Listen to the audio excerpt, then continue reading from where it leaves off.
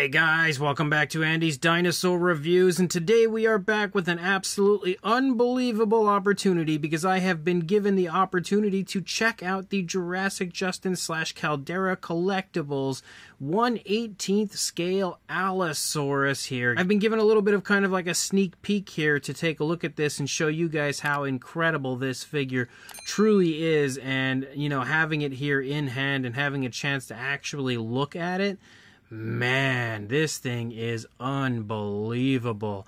But one thing I do want to state before we go any further with the review, I know there were uh, some people that were, you know, making a lot of fuss about the fact that this was releasing roughly around the same time that the Hammond Collection version uh, well, actually, it was unveiled a little ways back, but the sale for this went up the day after the Hammond Collection version was revealed. Now, I do want to state that people are making some pretty inconsiderate comments about the fact that this is a $300 figure. Now, uh, again, they make the comment of, well, Mattel's is this price. Why would Jurassic Justin's be so much more? Well, we have to look at this from the standpoint of the fact that this is one individual creator, one individual artist that sculpts these figures. He paints these figures, he prints these figures. Like everything that happens with these figures is all done by one guy.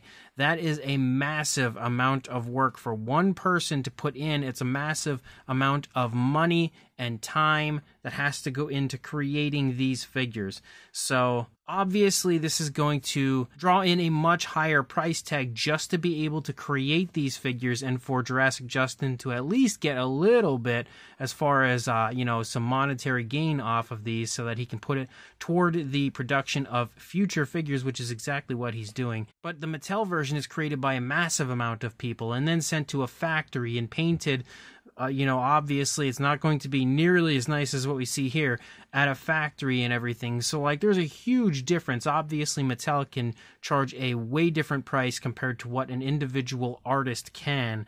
And like I said, this thing is actually huge. Considering it is 118th scale, it is a gigantic version of an Allosaurus. So, you know, on top of the fact that it's already a completely built from scratch custom figure, it's also huge. So I really wanted to point that out. But also the fact that this Allosaurus, you know, anybody that was talking about purchasing one or is interested in purchasing one, I do have a suggestion, and it's how I purchase a lot of my larger figures. I often get people stating, wow, you must be rich because you buy so many really expensive figures. Not really the case. I'm actually not rich at all. And uh, one of the ways, whenever it comes to a larger purchase that I don't have the money for at that time, that I acquire them are through a few different ways. You can do a PayPal pay in four. If you have PayPal, they allow you to actually purchase stuff online and split the payments up to four different payments. And that makes it so much easier to buy more expensive stuff so you don't have to pay so much money in one shot but I also use Affirm, which is really cool because you could take like a super expensive product, buy it, and then make like a small amount of payments or a large amount of payments so that you can lower the cost of it per month. And that allows you again to purchase stuff like this. It's something that I've never really talked about here on my channel, so I did want to kind of tell you guys about that just so you know that that's something that's possible. Again, for anybody interested in purchasing this or any other, you know, higher priced product, you know, if you want to do that, those are some options to help you acquire those things. But anyway, this Allosaurus has been standing here staring at me menacingly, and I know that it wants to be reviewed, and I know it wants a closer look, so let's jump to it right now. So starting up here at the head sculpt of our Allosaurus, you can see, oh man, it looks absolutely magnificent. When it comes to creating the Battle at Big Rock version or the Chaos Theory version, of the Allosaurus, honestly, it does not get better than that. And this one here is exactly that. It's the Battle at Big Rock version of the Allosaurus. And you can see, of course, the Allosaurus sculpt itself is absolute perfection, but you can also see he's captured one of the most important aspects to that Allosaurus, or actually, maybe even I should say two of the more important aspects. One of which is the fact that it has some scars and stuff up here. But the other is the blind eye. And look at how good that blind eye looks.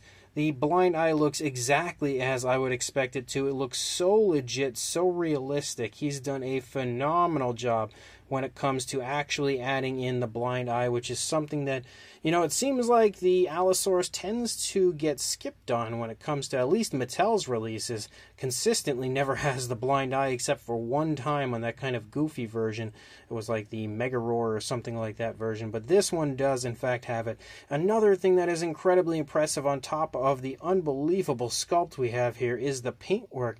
Jurassic Justin's paintwork is so good, and you can see he's added in a lot of variation of color. He's added all sorts of different painting techniques, whether it be washes or dry brushing, to really make the uh, paintwork on this look as professional and as high quality as possible, and also just generally super lifelike. You can see all sorts of variations to the colors here in the face. You've got lighter and darker shades of blues. You have blacks, you've got dark browns, light browns, all kinds of paintwork. I specifically love the way that he's dry brushed a lot of the detail out here in the face. He is definitely very good at what he does, and as I said, I don't think I've seen a better looking version of a Jurassic World Allosaurus anywhere, especially when it comes to a Battle at Big Rock version. And yes, I definitely think that this one here looks a lot nicer even than the upcoming Hammond Collection version, in my opinion. It just it is absolutely breathtaking here in person. But as you lead through the course of the face, you can see the skin texture looks incredible. You have all sorts of variation to the sizes and shape of the scales. You can see the nostrils right there. You've, of course, got the Allosaurus crests up here. They as well sport some really nice fine detail to them. You also have some nice detail within the eye socket area. Again, you can see the coloration darkens in the eye socket. And then as you move to the top of the head, you have kind of like an armored sort of a look here, moving along the back of the Allosaurus. And as you can see, as you lead down, it has not only that armored look, but all sorts of kind of like ridges and stuff up here on the top, which looks really, really nice. And I love the fact that he's allowed this light blue to kind of creep through the darker blues of a lot of the armored areas on the top. It's very nicely done. I also like the fact that he's painted the scars out, those injuries on the face, with a nice pinkish tone. And again, it is absolutely perfect as far as the paintwork goes. As you can see, the mouth does articulate. It can actually go open and uh, even so wide that it actually disconnects from the skin right there. But right there, again, would be like the perfect amount to open the mouth. And as you can see, you've got the skin kind of stretching here. Again, nicely painted with a pinkish tone. Also sports a nice gloss coat to it, which is a huge plus. On the inside of the mouth, we've got a really cool looking tongue. The tongue, first of all, has some fantastic texturing to it, but also sports two different variations of color as we've got like a purple, actually maybe even a little more. It kind of starts out with like a pinkish tone, then transitions to a purple, then kind of ends up as a dark blue, similar to the blue that uh, you see on the Allosaurus itself, but definitely a little bit darker, which again, I do believe the Allosaurus from Jurassic World does in fact have a bluish tongue. And then if we turn the Allosaurus around and take a look at the opposing side, not only will you see that again, it is gorgeous when it comes to both the sculpt and paint, you can also see that we now have a healthy eye as we've got a green with a black pupil and a perfect gloss coat over the eye, making it shine very realistically. You can also see all of the teeth are sculpted really nicely. You've got all sorts of, of course, varying sizes to the teeth. Very much so menacing looking teeth on the Allosaurus as you move along through the course of the inside of the mouth, and it's all painted with kind of like a light yellowish tone, which looks really good as well. The jaw closes about that far, and the jaw opens pretty much about that far, and it does seem as, yes, definitely the upper and lower jaw both articulate to open the mouth. As you begin to move back into the neck, you can see you've got a spot of articulation right here, which can go left, right, and up and down, which is nice, definitely increasing the posability of the figure. As you continue to move down along the side of the neck, you can see nice skin wrinkles and folds, as well as extremely vibrant scale detail. And you can also see moving down here, again, you've got that nice brownish tone. And look at how good of a job Jurassic Justin has done as far as uh, the painting of this area and making sure all of those scales are highlighted perfectly. You can also see a few skin wrinkles down here on the underside of the throat, kind of close to the lower jaw right there. But as you continue to move down, you see kind of like a line of scutes following along the side of the neck as well. And then you've got another spot of articulation right here, which can go left, right, up, down. It is uh, wire articulation, so you can see how it if you actually move it all the way over, you can kind of get a sneak idea there, a sneak peek as far as how the articulation works. But you can move that neck around really nicely, and again, pretty much pose it wherever you want, and it stays perfectly. If you look at it from up above, just to kind of give you another idea again as far as how articulated that neck is, give you a nice shot of it right there. And then again, you can move both parts to really articulate that neck. And as we move down here into the body, you can again see all sorts of varying sizes to the scales, even larger scales as you move down into the arm. You can also see the muscle definition is nicely present. The scales become a good bit smaller as you move closer toward the elbow. We do, of course, have articulation in the arm, so you can go forward and back. You can completely swivel it up and around if you would like to, but obviously you can also move the arm out away from the body. You also have articulation in the elbow, which works really smoothly, really nicely, as well as articulation in the wrist, which can go up and down and swivel. So you've got super smooth articulation the entire way through when it comes to the Allosaurus. But I'm sorry I have to keep moving it kind of out of screen for a minute. I just have to readjust it again. It's a pretty darn big figure. But as you move down, you can see again the transition from the blue to the brown on the back of the elbow is also really smooth. You can see yet again how nicely he's highlighted all of those scales. Moving through as you lead down into the hand of the Allosaurus, it does have some nice scutes moving down the fingers, and then we lead out into the nails. The nails have a genuine sharp look to them, and they also are painted with a nice glossy black, which is a plus. You can also see he's applied a dry brushing of a darker tone it looks like moving down, I think it's a dry brushing or a wash, down the course of those scutes to just alter the coloration a little bit because as you see the sides of the fingers, if my camera would focus, sides of the fingers are a little bit of a brighter blue. But as we move back up into the stomach and the side of the dinosaur, you continue to see how incredible that sculpt is. As you move up, you've got all sorts of variation to the scales, again becoming finer the further down you go. Again, super smooth transition to the brown of the underside. You've got that armored look here, again moving along the top of the Allosaurus, continuing to have that light blue shining through. You've also got an area of midsection articulation which obviously you can go left, right, actually go really far to the point where you disconnect the stomach, but you can, again, basically put the Allosaurus in whatever pose you would like. It is super articulated, and when it comes to how smooth the ability is to kind of move that area, it, again, is probably one of the best that I think I've ever seen when it comes to articulated figures and that midsection articulation. Moving back into the hip region, you can kind of make out the hip a little bit there. You can also see that, of course, the leg articulates. And uh, let me go ahead and grab it in the hip section there, or the I should say in the back. And again, give us a chance to actually look at the articulation. Obviously, forward and back. That leg can go super high if you wanted to. It can also go super far back. Probably could completely go upside down if I really wanted to get it to that position. And also, the leg can come out away from the body, so you can articulate it that way as well. Again, allowing tons and tons of posing possibilities. As you move down, you've got the knee, which is also extremely, extremely smooth. That can also swivel. And then you move down a little bit further, you've got some ankle articulation, again, forward and back, and can kind of swivel, but the way that it's sculpted kind of prohibits it from completely swiveling.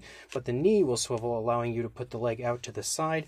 Then you've got one more spot of articulation down here. I'm going to have to readjust again to grab that spot and obviously you can go forward and back with that area and also swivel there as well. But moving down along the side of the thigh, you can see the muscle definition present but not overly defined. You can also see a little bit of like a rougher skin texture moving along the front of the thigh. Again, really smooth when it comes to the transitioning back to that brownish tone. And then you move down, you've got a really big calf muscle. You can see the knee in the front of the leg leading into the foot sculpt. That is an absolutely fantastic foot sculpt there. And again, man, the detail on this is unreal, and the actual print quality of this is easily some of the nicest I've ever seen. Like when it comes to crisp, impressive detail, I really don't know if I've ever seen better. You can see again the scutes moving down the toes. You have that lighter blue on the sides of the toes. The nails again have a nice genuine sharp look to them and are again painted with that nice glossy black. And you can see, or I hope you can, There is a dew claw sculpted and painted, of course, on the figure. You've got the brown moving along the undersides of the feet. Again, even down here is expertly painted, perfectly highlighting all of the details when it comes to the scales in the feet. As you move out into the tail, also, actually, before we get to that point, you can see you do have those larger ridges in like the hip region before they again kind of transition back down to a uh, kind of a smaller size, definitely a little smaller, but still not small by any means. But leading out, you can see some really nice skin detail, again with wrinkling and everything, and you can also see the scales as you lead out. You've got another area of articulation right here, another spot right here, another spot right here, again one right here, another one, another one, and then another one, and then one final spot right here. So that allows some incredible articulation in that tail. As you can see, it can completely go back around. You can also bend it, of course, the other way if you choose to. And of course, this also works going up and then down Obviously, it'll take a minute to really straighten the tail out to make it look perfect, but you can articulate that tail in any direction you want. It is very, very, very articulated, and that obviously is why you have so many joints moving out. And I love how smooth it is. Even though you have so many joints, they're not quite as obvious as you might see on some other articulated figures. He's done a very good job of hiding the joints moving through. But as you lead out, you can see that the armored look kind of starts to taper off a little bit and becomes kind of only like a few different rows moving along the top as we lead out toward the tip of the tail.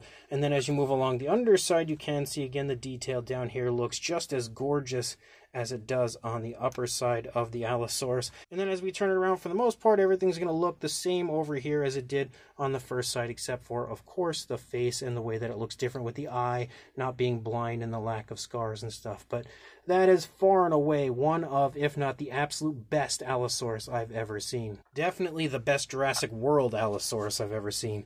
But if you want to take a look at the base, you can see the base that is included with the Allosaurus is very nicely sculpted. You've got a really gorgeous, honestly, earthy area with a ton of detail and a ton of paintwork applied. You've got all sorts of variations of lighter and darker shades of browns. Looks like we've got a wash and everything present, all kinds of cracks and crevices through the course of our nice earthy area for the base. And then, of course, in the center, you can see a little hole, and that is because you have a little peg that goes into it and then a little stand to put your Allosaurus on to balance him out. So, as per usual, when it comes to Jurassic Justin or Caldera collectibles, it is the total package. Now, as far as a size goes for the Allosaurus, it is a doozy when it comes to a size, no doubt about that. Trying to straighten the tail out the best I can. But as far as a length goes, from the snout to the tip of the tail, it is about 26 inches, maybe even closing in on 26 and a quarter, or about 66 and a half centimeters. I actually, just to get the Allosaurus in screen, it's so big, I really had to push the Allosaurus back further away from me, so it was a little tough to actually reach all the way out there to get that measurement, but uh, hopefully, again, I got it as close as possible. And then for a height on the Allosaurus, I don't know if you'll have a perfect view of it from this position. You are looking at to the top of the crest, a little hair under 10 and a quarter inches or about 26 and a half centimeters. Now that is just in the position it's currently in. Obviously you could stand the Allosaurus up way higher, way taller if you wanted to have a much higher and taller look. But for a size comparison, there is Mr. Papo T-Rex, the Attack Pack Colovosaurus, Robert Muldoon, and the Collect A human being next to our Caldera Collectibles Allosaurus. And as you can see, the Allosaurus is massive next to every single figure that I have here. Then for a few random Mattel comparisons, we've got a Mattel Velociraptor and Dilophosaurus, which are very clearly a lot smaller. And then a comparison that I know some people would definitely want to see, though it's a little hard to really actually get it completely in screen here. As you can see, we kind of are now extending out past my review area, but we have the Hammond Collection T-Rex, the custom version that I had created next to the Allosaurus, and uh, the Allosaurus honestly might be a little bit longer than the T Rex, though Mattel's, uh, you know, proportions and everything weren't all that great when the T Rex was made. So maybe if they made a newer one, it would probably be a little bit more correct as far as the size goes. But obviously, you can see the Allosaurus is still super, super impressive next to that T Rex. And then just to kind of go up above to show you the Allosaurus and T Rex next to each other, you can get a pretty good idea, I think, as far as the size goes and how they size up next to each other from up above. And then when it comes to a size comparison next to one of Mattel's more recent Allosaurus offerings, you can very clearly see yet again the Jurassic Justin version is so much bigger than any Mattel Allosaurus. Well, minus the uh, super colossal version anyway. And then when it comes to one final comparison, and honestly, I'm at a little bit of a loss as far as what to compare with this Allosaurus because it is so darn big, but here is an extreme damage T Rex, aka the extreme chomping T Rex from Mattel, again, which is clearly much smaller. And surprise, I actually have something really cool to show you guys because what you can see here standing next to this Allosaurus is actually also from Jurassic Justin as he is going to be releasing this larger version which is the 118th scale Allosaurus in 132nd scale as well. So that's what you see standing here next to the larger version. Now these two Allosaurus are exactly the same as far as the sculpt, exactly the same as far as the paint. Obviously the only difference really here is is the fact that the 132nd version is a lot smaller and would fetch a cheaper price tag, I believe. Now, don't quote me on this, but I think the 132nd scale version will be around the $200 range and obviously the 118th scale version is at $300 the last I heard. So you can again grab yourself this Allosaurus in either of those two size ranges. Now the only other question I think you guys might be asking is whether or not the Allosaurus can stand on its own. As you can see, I do have it standing right now, and uh, even though it kind of looks like it, the tail's actually not touching, but the Allosaurus, due to it being so large and having such smooth articulation, uh, it does tend to kind of like crumble in the legs, which you can see, but that's exactly what the stand is for. So once you put it on the stand, obviously it stays up perfectly, but that also allows you to create all sorts of very cool kind of crazy poses that you can put your Allosaurus in and display it. Obviously, right now it's just kind of floating on through as it, I guess, kind of runs by. But uh, again, the inclusion of the base with the stand is definitely a great idea on the part of Jurassic Justin and works so nicely here with the figure. So, without a doubt, this is far and away one of the best Allosaurus I have ever seen, and definitely the best when it comes to a Jurassic World style Allosaurus I've ever seen. The sculpt is exceptional in every way. It's probably one of maybe the most impressive sculpt I've seen in person as far as how good the actual print quality is and how good the detail pops. It is honestly like unbelievable to look at the Allosaurus and see how good the detail looks on the figure, how crisp it is. Jurassic Justin and his quality is honestly off the charts. It's out of this world how good the actual sculpt and detail looks on this. Obviously, Jurassic Justin put a whole lot of time and effort into the sculpting of this figure.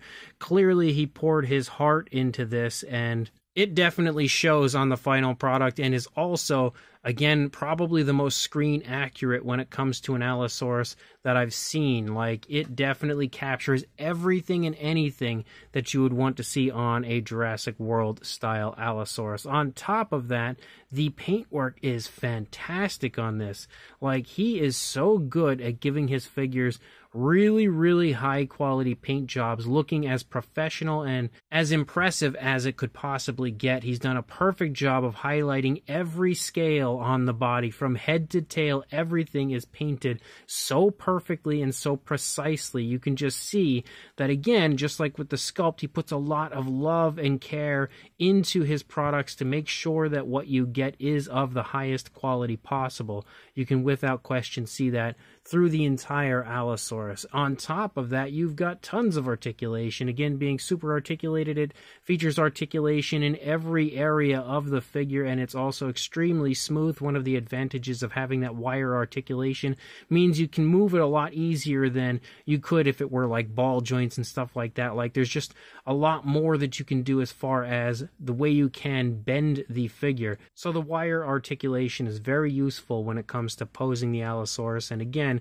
giving this a mountain of articulation. And then, of course, you also have a stand and a base, which looks great with the Allosaurus and helps to complete the entire scene and display. So if you are interested in grabbing this, and of course, grabbing that 132nd scale version, I will include a link in the description to the Etsy shop of Jurassic Justin. I don't know for sure if the 132nd scale versions are up yet, but I know obviously the 118th scale versions are up for pre order. So make sure you check the links that I will include in the description where you can check out the Etsy shop, pre order yourself one of these Allosaurus. Like I said earlier in the video, make sure you use one of those methods that I was mentioning if you, uh, you know, want one, but you don't have the money right now. Uh, again, firm or things like that, you know, PayPal, Pay in Four, things like that are really helpful when it comes to ordering stuff like this. So make sure sure to check those links. Definitely pick this one up. And of course, like, comment, and subscribe. And I will see you in the next review. Thanks for watching.